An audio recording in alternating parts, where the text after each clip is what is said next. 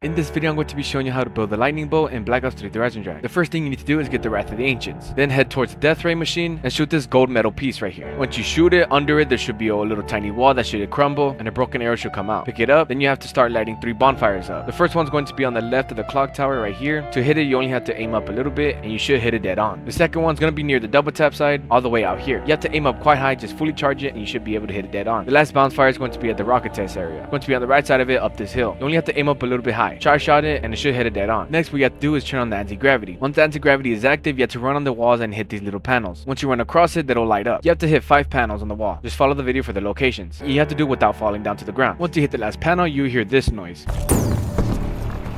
Now you have to do is collect souls for these three urns. They're going to be near the bonfires that we lit up earlier. The first one is inside the clock tower. The second one is above double tap in this room. The last one's near the rocket test on the left side of the buildable barrier right here. You have to collect around 5 souls. Once you collect the last soul, charge shot with your bow and then head towards the bonfire while keeping it charged. And now you have to hit all the bonfires again with the lightning on it. But for this urn, it's really easy to hit this bonfire since you have visual effects on it now. What I'd recommend is aiming just at the top of the fire's color shade and you should be able to hit it dead on. For the rocket test urn, it's the same thing. It's not that hard to hit. Just aim a little bit to the top, you should be able to hit the bonfire. Once you hit all three bonfires, go back to the gold piece, and there should be blue smoke where the wall broke. Interact with the blue smoke, and it'll lift up to the gold piece. Wait for a couple of seconds, the arrow should spawn right in front of the wall where it crumbled. Once you grab the arrow, head back to the pyramid. Place the arrow in this box right here. Once you place it, you now have to get 20 souls. Once you get 20 souls, interact with the box. And now just wait for a couple of seconds. And that is how you build the lightning bow in Black Ops 3 Der Eisendrache.